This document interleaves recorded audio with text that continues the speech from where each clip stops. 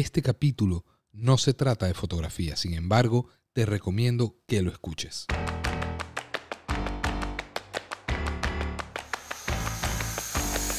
Bienvenidos a Soho Studio. Podcast, podcast, más, fotos. Podcast, podcast, más, fotos.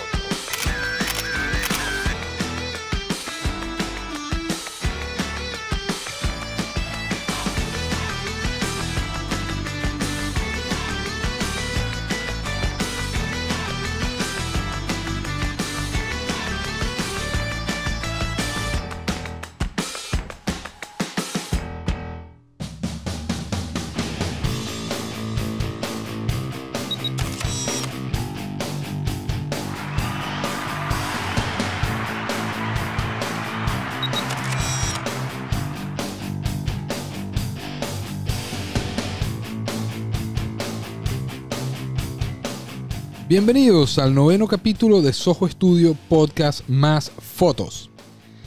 Este capítulo lo estoy grabando un poco tarde porque estoy llegando de una experiencia eh, que ya vamos a comentar, pero no sin antes agradecer a todas esas personas que han dejado un review en Apple Podcast. Vamos creciendo poco a poco y para los que se conectan con nosotros por primera vez, mi nombre es Gabriel Cuesta y soy fotógrafo freelancer con base en Fort Lauderdale. Me especializo en fotografía de comida y tengo entre ceja y ceja crear contenido gratis en este podcast para darle apoyo a todas esas personas que están empezando en la fotografía y que aspiran vivir de esto por su cuenta. Entonces, si tú me ayudas compartiendo el podcast, participando y aportando, esta información puede ayudar a todos esos fotógrafos que están empezando para orientarlos un poco según la experiencia de todos nosotros.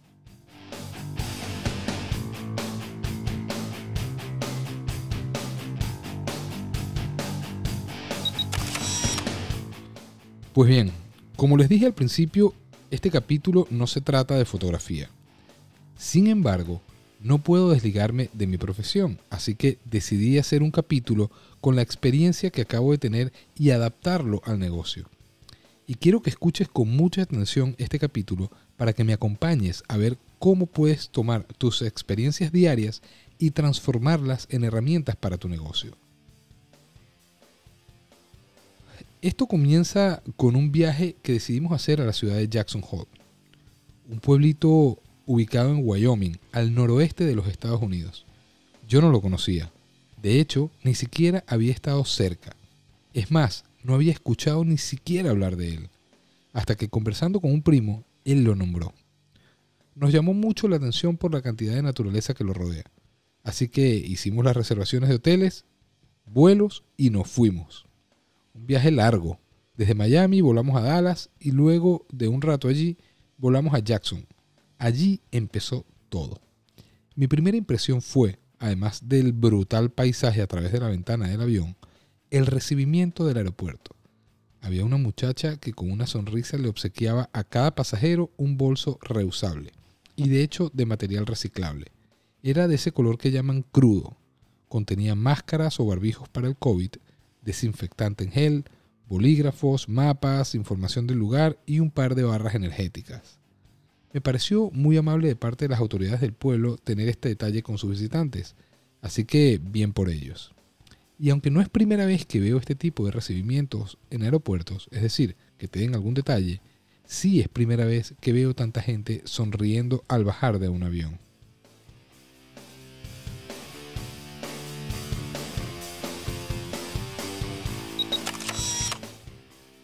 Dentro de mi plan inicial estaba fotografiar el amanecer desde un sitio llamado Mormon Row. Allí se encuentra, según los lugareños, una cabaña que dicen que es la cabaña más fotografiada de este país y se llama Molton Barn. Y es un sitio que para los que nos gusta la fotografía es una parada obligatoria. De verdad, el sitio es increíble. Pero siguiendo con el viaje, fui a buscar en medio de una nevada y temperaturas bajo cero la camioneta que había alquilado la atención de la compañía, eh, la compañía que donde renté la camioneta fue muy buena, sin enredos y todo muy rápido. De ahí salí al hotel ubicado a tres minutos del pueblo. De nuevo, apenas llegamos, la atención fue muy especial. Había muchas amenidades, bebidas calientes, muchísima información acerca de los parques nacionales que lo rodeaban, montañas de esquí, atracciones para niños, familias, resorts, había sitios donde podías calentarte porque la verdad las temperaturas eran extremadamente bajas.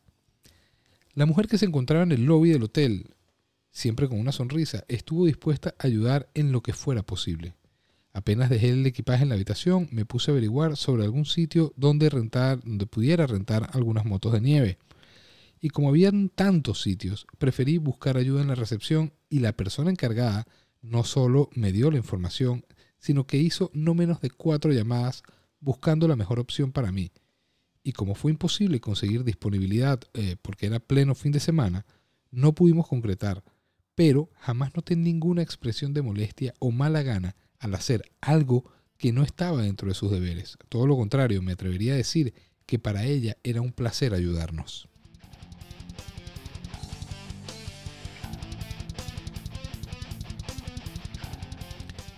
Como era temprano, decidí salir a volar el dron en las inmediaciones del hotel. Había un señor que con curiosidad se acercaba y empezó a hablarme de lo bonito que se veía el sitio desde el aire.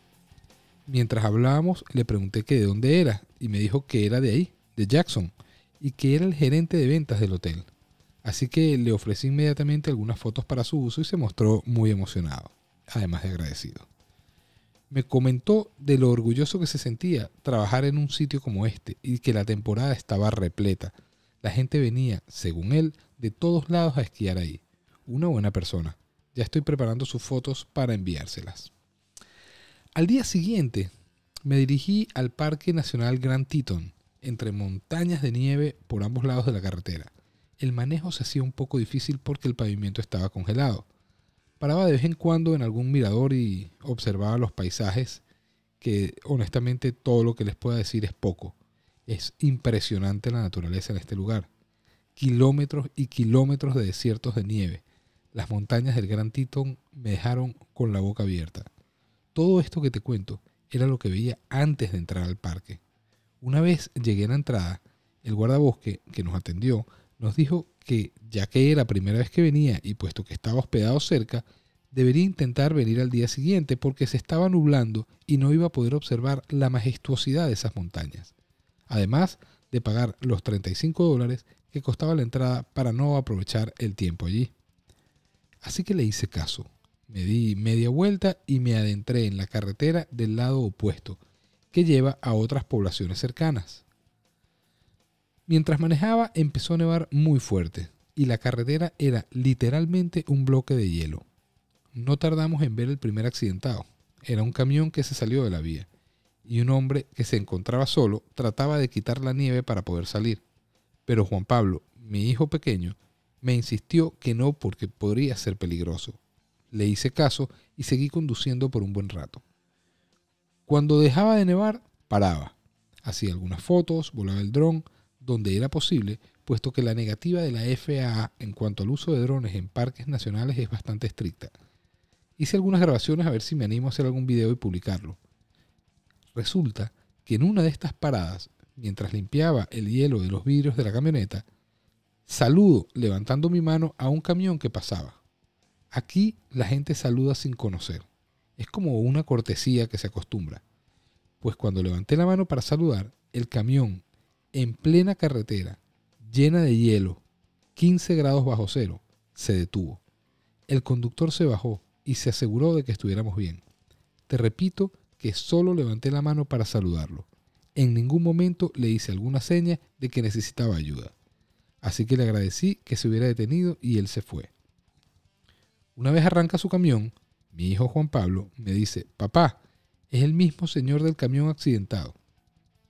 Sí, ese mismo que yo no ayudé a salir porque podía ser peligroso. Y fíjate, él sí se detuvo a ayudarnos. Son este tipo de cosas que quiero que vayas agarrando en el aire para que al final del podcast o del capítulo saquemos una conclusión. Probablemente estarás pensando, pero Gabriel, ¿qué tiene que ver esto con fotografía? Espera hasta el final sigue prestando atención a este podcast. Cuando fuimos a rentar equipos para esquiar y hacer snowboarding, la persona del counter, también con una sonrisa, nos explica con detalles las opciones que tenemos y las mejores pistas para principiantes. Así que le hice caso y alquilamos el equipo recomendado. Mientras mi hijo Juan Pablo hacía snowboarding y cada vez lo hacía mejor, se le ocurrió la grandiosa idea de quitarse los guantes. Y aunque le recomendé que no, él insistió. Así que decidí dejarlo para que aprendiera por experiencia propia y así lo hizo.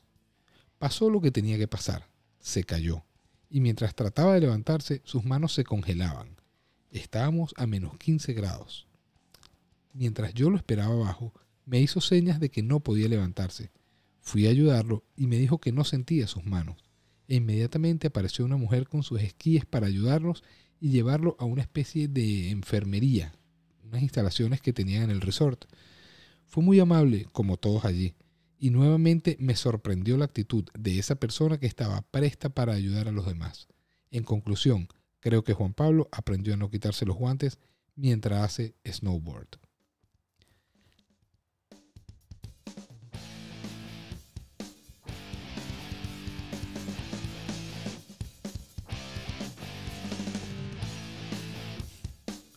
Al día siguiente decidimos ir a Yellowstone, pero de cinco entradas que tiene el parque, solo estaba habilitada la entrada norte.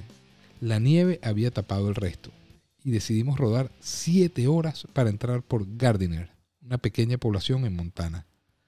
Y así fue. Rodamos por paisajes que de verdad todo lo que pueda decir se queda corto. Poco antes de llegar, en la carretera habían animales salvajes, lo que hizo la experiencia aún mucho mejor. La guardaparques nos dio toda la explicación necesaria. Una mujer muy simpática que no parecía molestarse por todas las preguntas que le hacíamos. El sitio de nuevo nos dejó boquiabiertos a todos.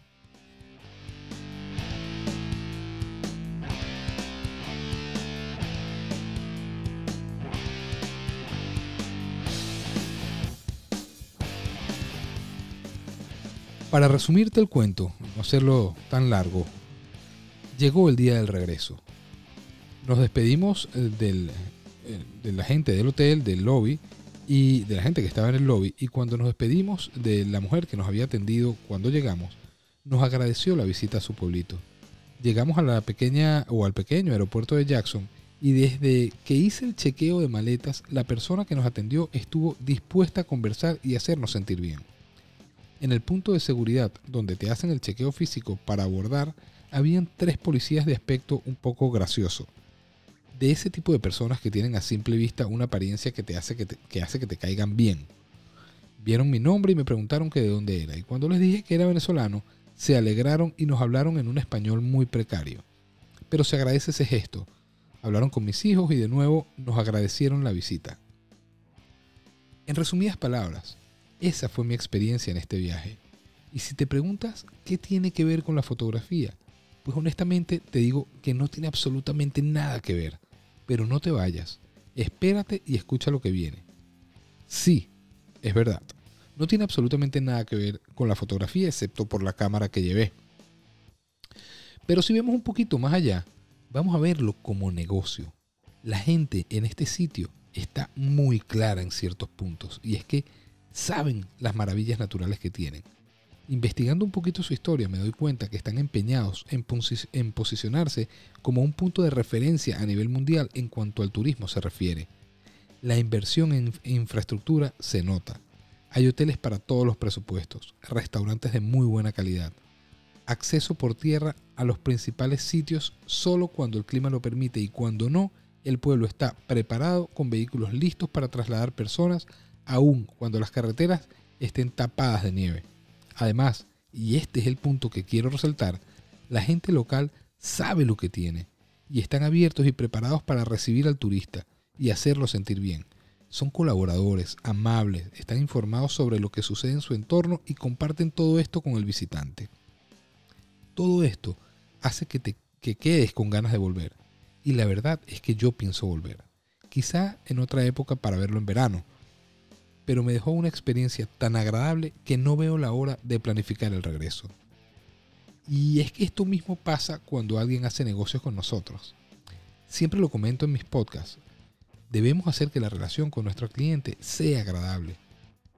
Que note nuestro interés por su negocio y vea que en realidad queremos ayudarle. Esa es la gran diferencia entre un negocio cualquiera y un negocio memorable.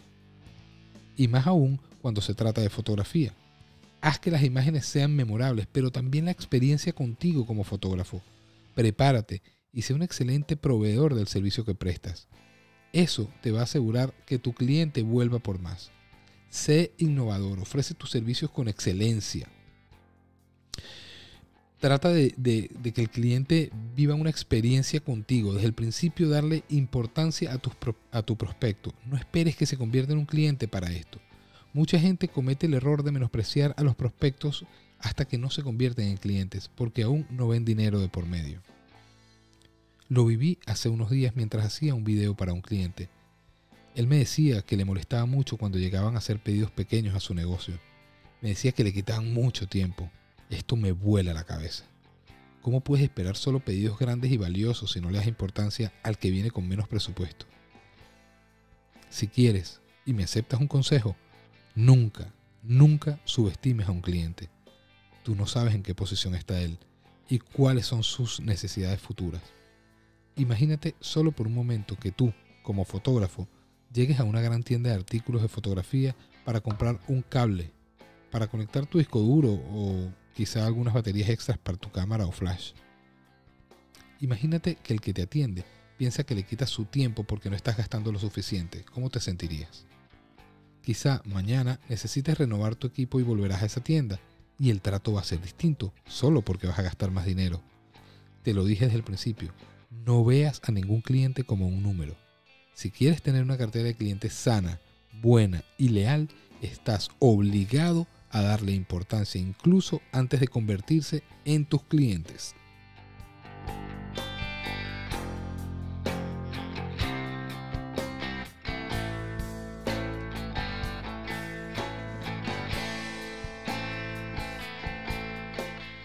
Entonces, si esto no tiene que ver con fotografía, sí tiene que ver con nuestro negocio y la manera de enfocarlo.